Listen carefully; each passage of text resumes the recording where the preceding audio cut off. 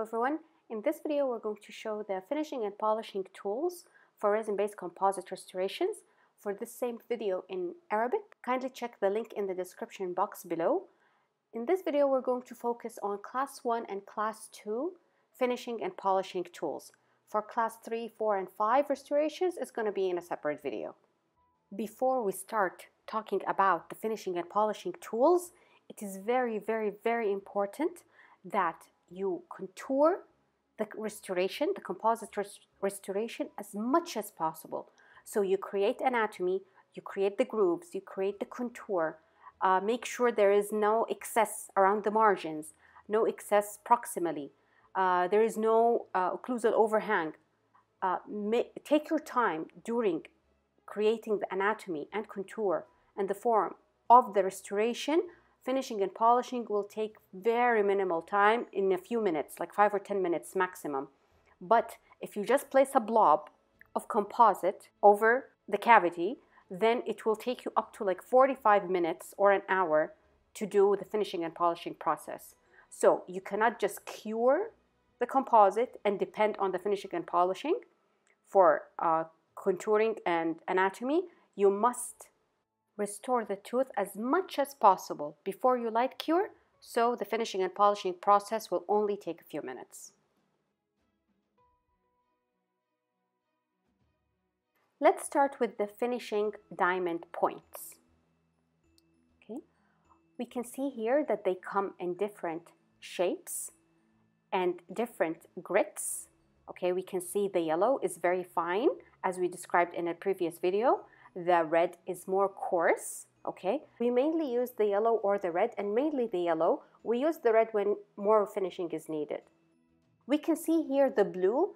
This is for caution okay? You're not going to use this for finishing. This is a cutting tool okay? So this is used only for beveling. We do not use it for finishing and polishing okay? So we're going to use mainly the red and the yellow okay? And we're going to discuss now which ones are best to use for each class. The diamond points are usually high speed and to know the difference between high and low speed you can check the previous video. Let's start with the round or ball diamond point. Okay, for a class 1 we're going to place the diamond okay, on the fossa to, to create the fossa and remove any roughness in the occlusal part if needed okay? We have to be very gentle so the grooves will not go away. And the type of pressure we're talking about is not applying too much pressure like this okay? It needs to be very light touches because you're only removing excess. You are not removing the restoration okay? So you need to go with very gentle pressure okay? Let's see here. How are we going to use it in a class 2 the same thing, you're going to leave the marginal ridge, okay, and you're going to go where the fossa is located, okay, and then you're going to create the fossa and remove the excess from the occlusal surface if it's present, okay. So this is how you're going to go with the very light pressure on the surface. The following instrument that we're going to see is the short flame or the football diamond, okay and we're going to use this also on the occlusal surfaces okay? So we're going to point the tip okay in the central groove okay? So we're going to place it in the central groove okay? And place the instrument in a 45 degree angle to not remove the cusp and then we're going to go around the cusp. So the tip will be in the central groove and then you're going to angulate the diamond point in a 45 degree in the buccal. After you finish going around the cusps, you're going to go and you're going to go and finish the lingual cusps. Okay? You're not going to go, you know, in this way. You need to have it in a 45 degree so you do not remove the cusps. Let's look at a different view. For example, imagine between my knuckles is the central groove. So this is how you're going to angulate the diamond point and then you're going to go to the other side and angulate the diamond point in the same way. So the tip of the diamond point will always be in the central groove so you don't create multiple grooves. Let's see how you're going to finish class 2 restoration, okay? The same thing, you're going to leave the marginal ridge, so the marginal ridge will not be removed. You're going to place the tip in the fossa, and then you're going to create go around the cusps.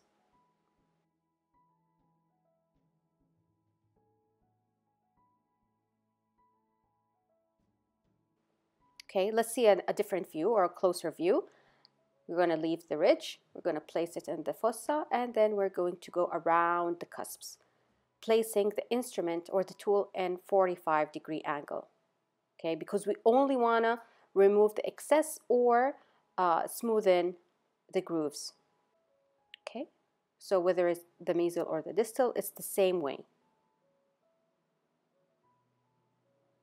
Okay, similarly in class 1, we'll take a closer look.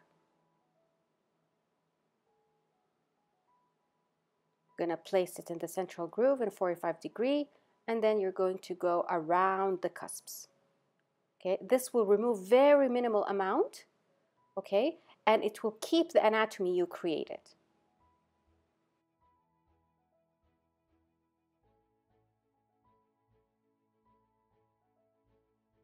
We can also use the flame diamond point on the occlusal surfaces depending on the accessibility. In a similar manner, so similar to how the football was used or the short flame.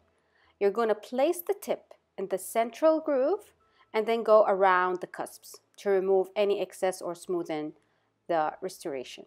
Okay, from the buccal and then switch it to the lingual cusps. Okay, it's very important to take care of the angulation when using flame diamond or the football. Okay.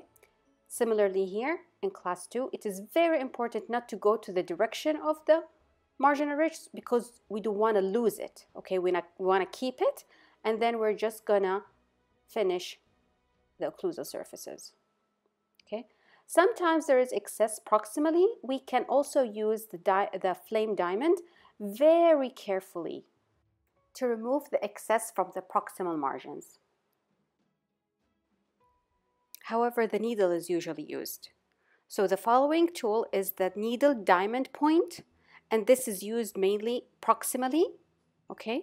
So if we have excess in the proximal area, what are we gonna do? We're gonna just do gentle strokes to remove the excess, okay?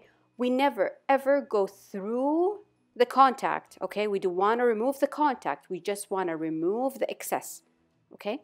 So very gently with light pressure, you're going to contour the tooth using the diamond point, the needle diamond point, okay? Very gently.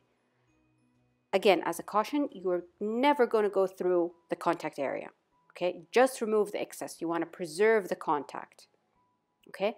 and you never ever use the needle on the occlusal surfaces. It will destroy the whole occlusal anatomy and it will create like a trough in the occlusal surface and everything will be destroyed. When we have excess proximity or, or an overhang, we can use also finishing strips, okay? Uh, these strips can be used, but you have to use it with caution, okay? Because you do want to destroy the contact area. So you want to finish or remove the excess, especially uh, below the contact area. You never use it in the contact area. Use it below the contact area to remove the excess.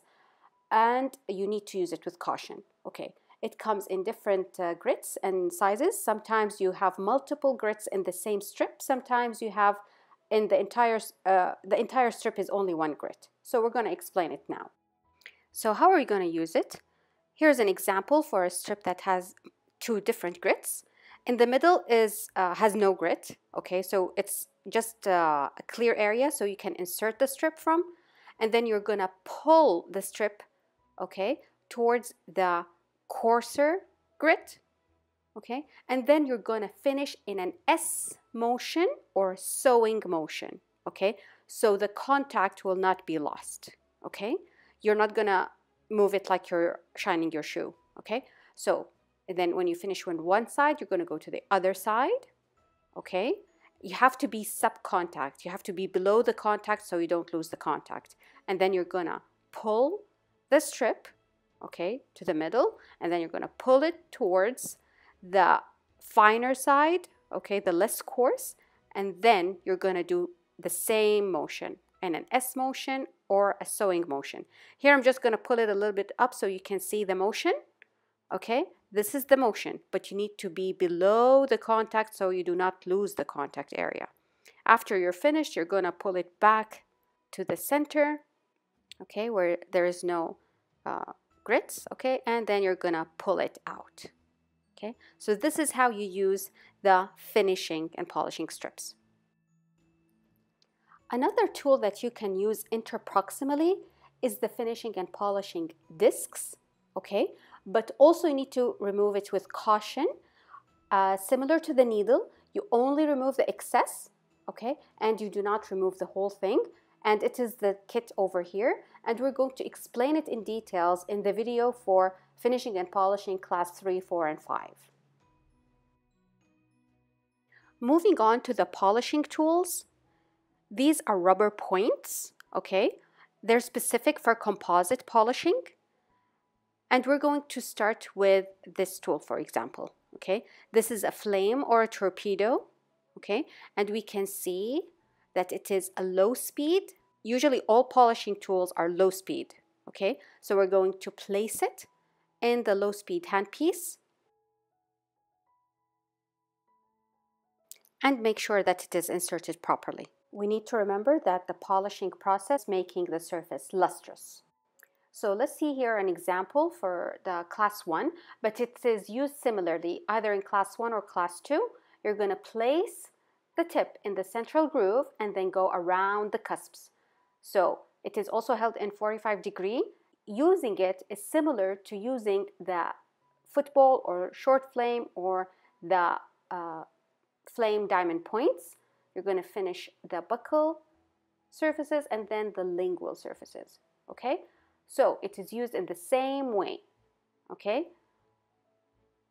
Let's see here the class 2. Okay, you're going to leave the ridge and then you're going to place it in the fossa and then go through the central groove from the buccal and from the lingual. Okay? And then also we're going to go in the distal restoration. Okay? So it is used similarly, similar to what we explained before. Imagine that between the knuckles is the central groove. You're going to place the rubber point in a 45 degree, placing the tip in the central groove. Moving on to the following tool. Okay, we have the cup. Okay, this is also this also can be used for a class 1 or class 2 occlusal surfaces. Okay, and how are we going to use it? The same thing, we're going to place the edge in the central groove, okay, and go around the cusp, okay, just to uh, polish it, okay. Each cusp separately. Similarly, for class 2, same thing, you're going to place it in the central groove, and then you're going to go around the cusp. Sometimes you can do this motion and, you know, polish the whole cusp depending on the size of the restoration, whether it's a class 1 or class 2.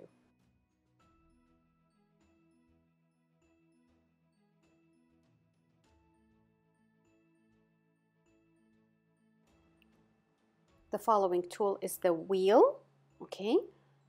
So also similarly, we're going to place the edge in the central groove. Either it was a class 1 or class 2 and then you're going to go towards the cusps okay so starting from the central grooves towards the cusps on the buccal and then on the lingual you will do the same motion whether it is a class 1 or a class 2 so for all of these tools whether it is for polishing or finishing you're going to use the tool according to the surface and according to the amount of excess or what you need to finish and polish, okay? So in this video, we discussed the finishing and polishing tools for class 1 and 2, and in the following video, we'll discuss uh, the finishing and polishing tools for class 3, 4, and 5, including the polishing discs over here. Thank you very much and see you in the next video.